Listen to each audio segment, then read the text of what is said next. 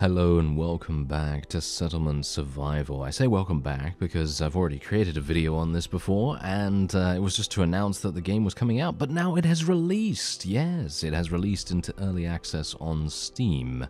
And this video is kindly sponsored by Gleamer Studio, and if you'd like to check out the game, there is a link in the description. It already has 91% positive reviews on Steam, and I'm extremely pleased to see that because, let's face it, they deserve it. It is a fantastic, very polished experience. And this is my new city or my new town that I have been working on over the past couple of hours, actually, because obviously my previous one that was more in the demo so now this is the the full version of the early access period of the game and well I'm I'm doing okay right now. I'm doing okay. The only thing that I'm not doing very well is I decided that it would take a long time, or should we say, I decided that I would take a long time to construct a tailor's workshop. That was a mistake on my part. Can't believe that it took me so long to construct one of those, but it did. And uh, yeah, now we're in a bit of a spot of bother because a lot of my citizens are now cold. So hopefully they are um, hopefully they're not going to suffer from that for too much longer because I now have a tailor up and running. I've also now started to construct a school and I left this little tutorial message up here because I wanted to highlight this as being a very important point. So if you are new to the game and you're wondering how can I generate more research points? How can I get better and faster progress in terms of unlocking new technology? Well, Schools are a really good way to do that because as you see here, this is our developmental stage right here. At the moment, we are level 4 and we are going to be getting another development point relatively soon. Now, I've gone all over the place with this particular city. I've basically unlocked a wide variety of different things. I have a police station, I have house upgrades, I have clean water. I should probably get heating to be honest. As you see here, unlock the building boiler room to heat the buildings in range. That's actually fantastic, but you need steel for this, you see. The best thing that you can do is always take a look at the requirements of a particular building before you spend your research point because otherwise you're going to get it like I did in my previous episode of the game and you're not going to be able to build it because you don't have the required resources, which is hilarious.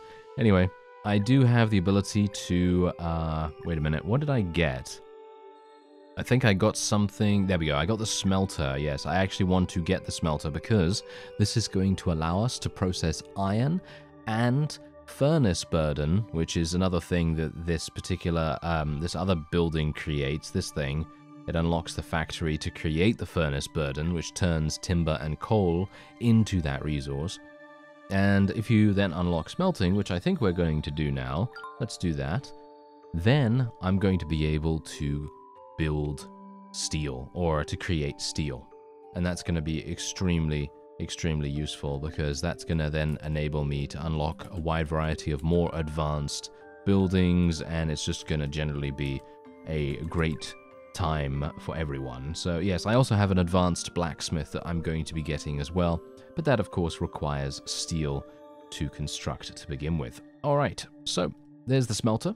Now you have to find a place to put it. I've already expanded across the river here. I generally like to place my, my main buildings relatively close to the river.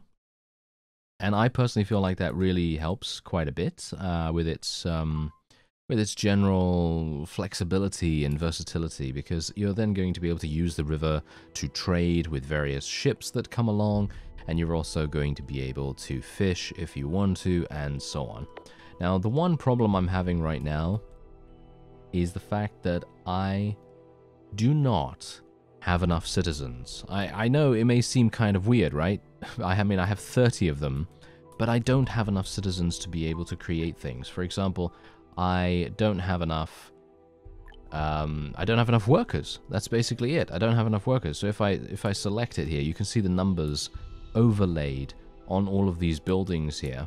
And I mean, yeah, sure, I could probably fire one of the builders and then they could take up another job. So for example, I could make them into a distiller or something like that, or I could make them raise uh, the geese over here. And I think I will do that. Let's let's make them raise the geese. I have two different uh, pastures in my town at the moment. One is raising pigs, and the other one is raising geese.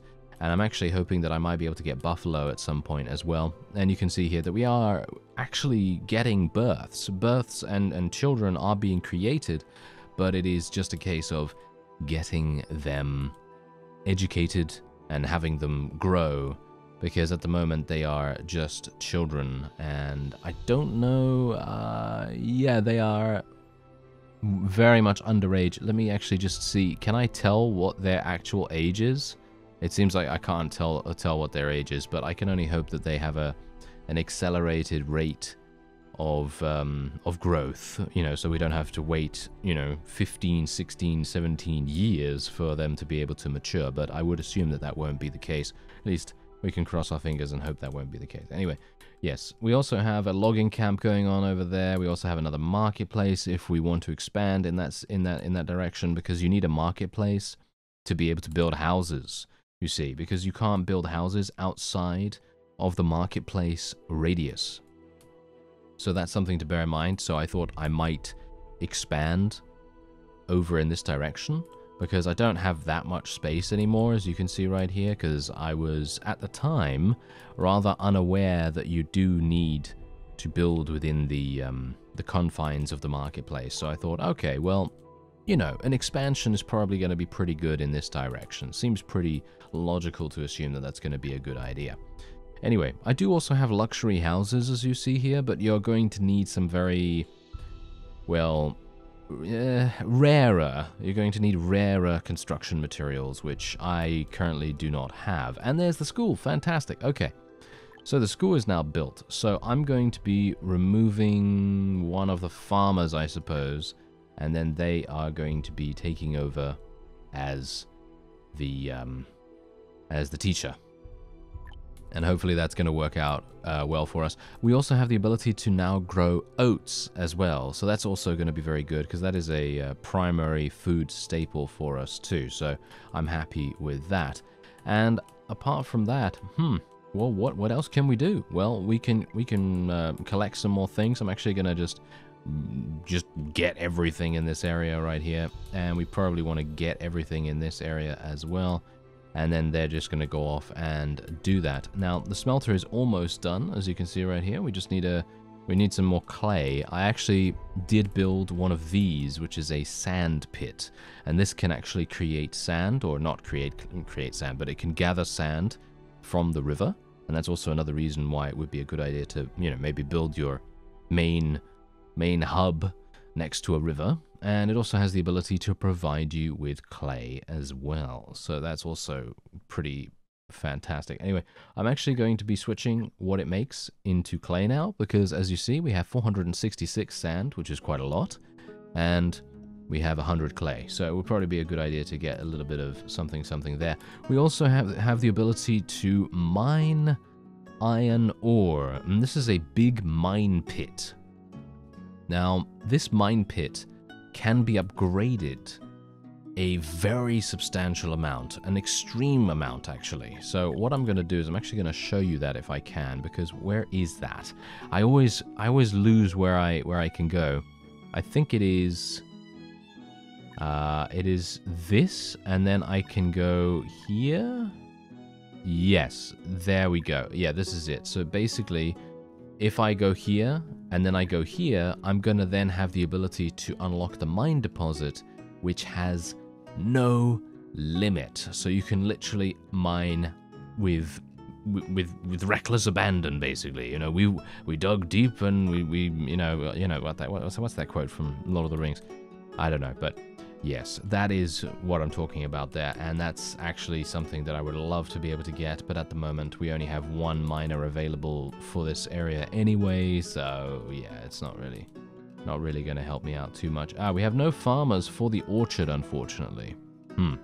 Yeah, this is exactly what I was talking about. No repairmen assigned either. Hmm. We're going to have to do something about that. Okay. Ah, uh, let's see. Uh, Forester, let's get... No, we don't want a brewer. We want a repair... Oh, we don't have any repairmen? Oh, I... Oh, yeah, I need to do that, actually. I need to do that uh, relatively fast. I need to build a repair station or whatever it's called. Where is that? It's around here somewhere. There, the repair shop, yes. Now, this is something that I definitely should have built a long time ago, but as you know, there's just so much choice in this game that generally I uh, I like to choose the, uh, the, the slightly, uh, you know, the fun things to build first. Like, for example, the clinic and the church, because the church actually increases happiness by a massive scale. It really is really amazing to get early on. And yeah, the well is the thing that is damaged at the moment. Herb reserves are also low. Okay, I'm going to have to do something about that. So let's get a gathering station. Uh, wild vegetables generally grow near mature trees. Okay, so I guess I'm going to be building a gathering station round about here then. And there we go. Okay, I've also been attempting to expand my roads as well, but obviously my citizens are a little bit slow with expanding over in this direction, and they haven't even built all the roads in this area either because they're just generally running around and trying to get everything done as much as possible. Let's go to 10 times speed. My health is really bad at the moment, mainly because I think we are going to need something else. We're going to need like a bathhouse, or we're going to need to unlock soap, or we're going to need to get something that is going to increase our health levels. And that's what we have to try to do. My tailor is doing a good job though, as we can no doubt see, but we don't have any more leather, unfortunately. So I will have to build clothes out of alpaca wool, by the looks of things. That will have to be the thing that we now use for that.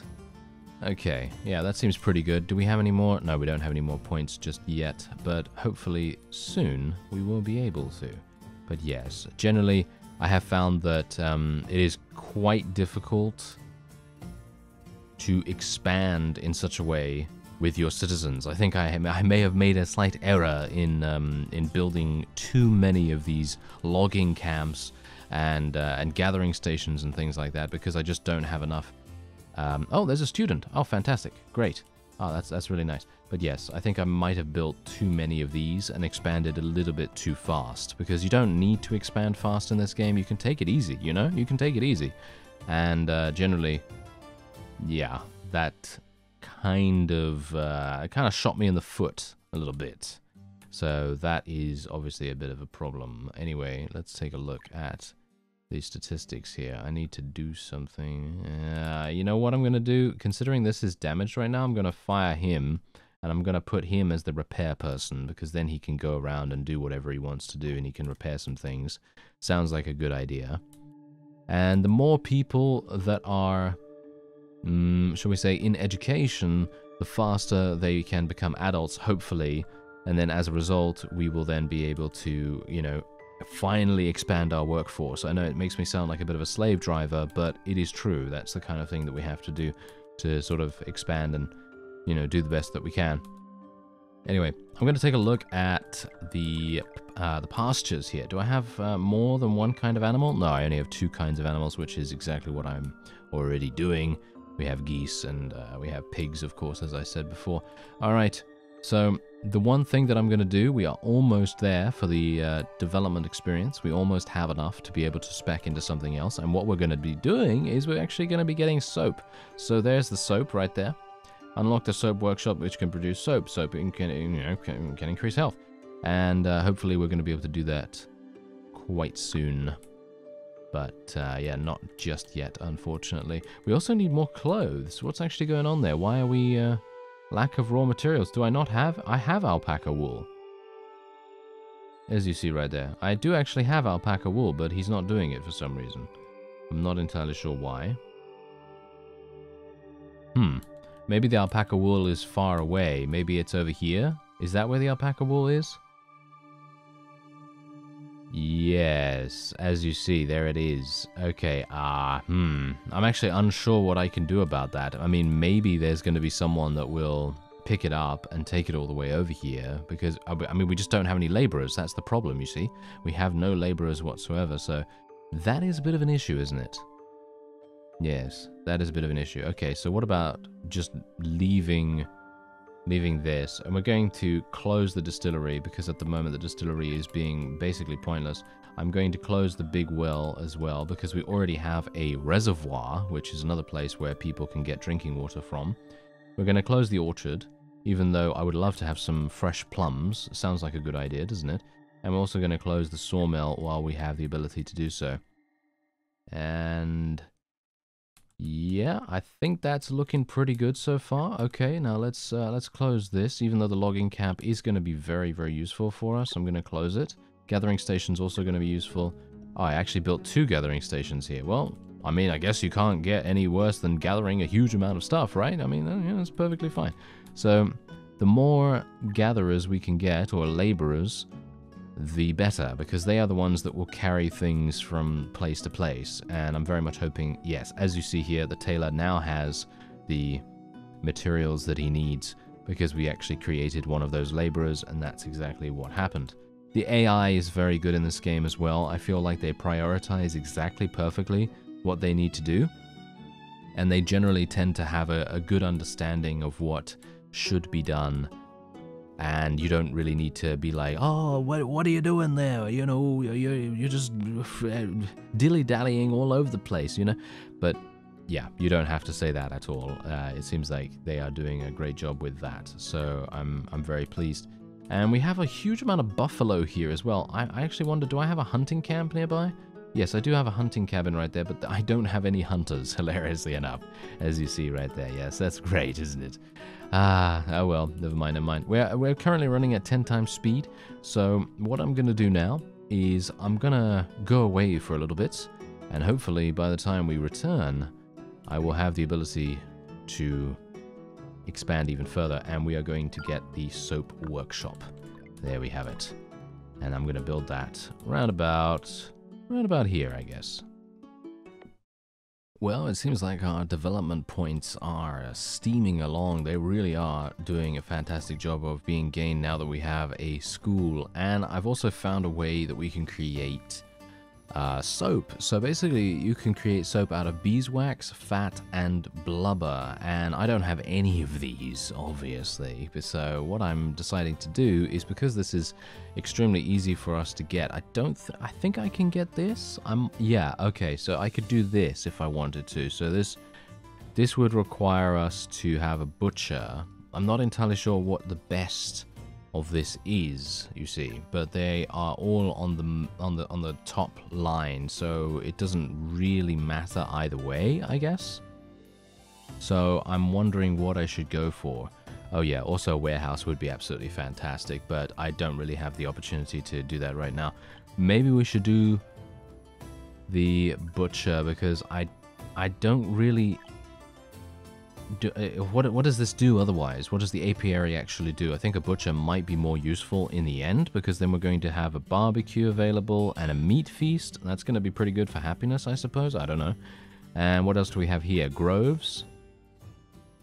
Okay, nursery, farmers will grow herbs and special crops in the field area. I mean, herb, mmm, that's looking, that's looking pretty good actually. I'm gonna go for this because I want the, the herb potential because herbs are extremely important for health. As you've no doubt seen, there's a bunch of warning messages for me at the moment. Uh, build ah, any more herbs and so on and so forth. Yes, that's that's going to be the thing. Anyway, I'm thinking we're probably going to build it around about here. And all of my injured citizens will be going over to the clinic, which is perfectly fine. And uh, we have six people currently in education, which is pretty good. And you can see here that our Research progress is pretty good. We're getting a current output of 20, which is not too bad. I mean, that's I mean, it seems to be going a lot faster than it was before, at least. And I still do not have any more workers. So obviously that's a bit of a problem. But hopefully that will change relatively soon. I can pretty much just pause the soap workshop at the moment. We're going to go for beeswax when we eventually have the ability to construct that. And I'm actually wondering whether I should build another open warehouse. I think I will. I'm going to build one roundabout here because there might be some things that we can just place right here, like beeswax or whatever, and maybe some soap when that is ready. And then we're going to have a much easier time of things, or at least I hope so. Okay, so furnace burden, at the moment, we don't really need any more of that. So I'm thinking we might actually put this guy on pause, and then he can go off and do whatever else he wants to do, and hopefully he'll he'll actually help us to uh, accomplish what we want. Oh, look at this. It seems like they're actually transferring some stuff over here for some reason. Not entirely sure why they're doing that, but okay. I guess if they want to, then that is perfectly fine. But yeah, I, I personally find it extremely enjoyable and satisfying to see how the trees continue growing in the area even though you've chopped them down. So for example, I chopped down this entire area. This was completely bare about, I don't know, about a, a, year or two ago. And now, boom, look at that. There's a, a, whole bunch of trees right there. Same thing with, with the north of the area as well. It's pretty crazy. And then otherwise, we're going to get some more stone and iron and all these little things right here. And this is a massive area, by the way. I mean, it may seem like it's not that large, but it is massive. It really is. And obviously, the game does give you the opportunity to maintain your town with unlimited sources of these resources eventually. Once you have enough you know development points and unlocked these things in the mining tree for example where you're able to actually use this and it can be mined without any limit. And it's the same thing with with this. Unlock the quarry which can be mined without limit. So that's that's super super good. And um, yeah generally you're going to be able to have a grand old time with that. So I'm very much looking forward to getting it and hopefully yes Rudolph or Randolph not Rudolph but Randolph is actually working at the apiary right here and hopefully he has Wow, uh, they're filling this up way too fast in my opinion, but yes, okay, they are actually filling that up quite a bit. Okay, well, uh, let's uh, let's start the soap workshop, and I'm actually going to go over to the job screen, and we we need to we need to get, let someone go here. So we're gonna tell them to go somewhere else. So what about the smelter? Smelter is not really necessary at the moment. So let's.